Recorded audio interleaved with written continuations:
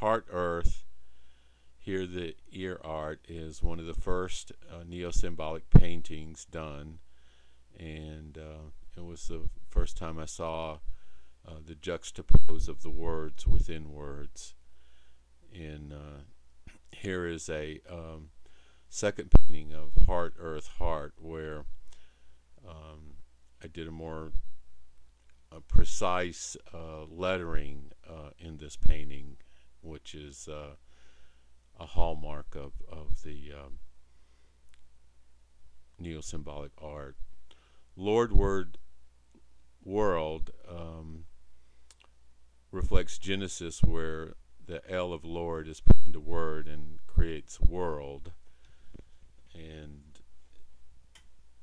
that's where the Lord spoke the word and created the world in seven days.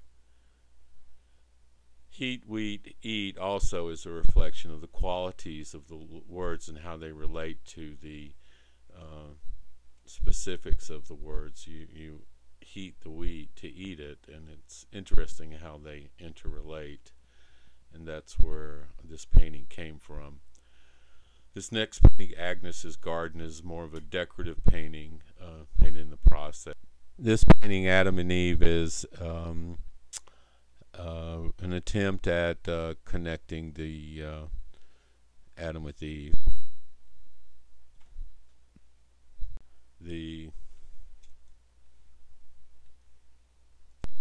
Beloved, beloved is another example of uh, the words within words. Love our other brothers. Uh, other and brothers really spoke to me in this as a uh, way of uh, expressing uh, love for all of humanity.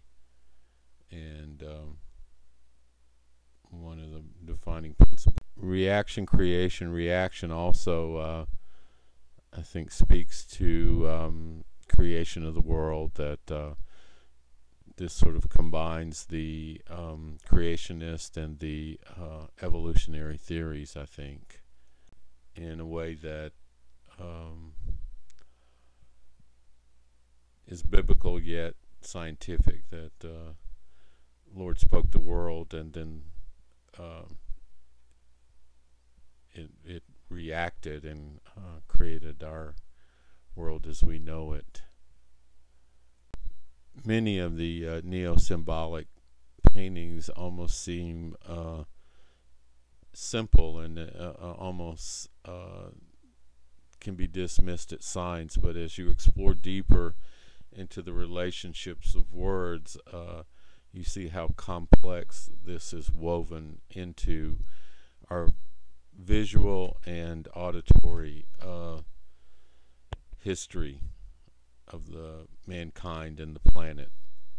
It's also uh, looking at words which uh, looking at them as pictures, as symbols, and this is a very different way of looking at uh, uh, what we consider verbal expression.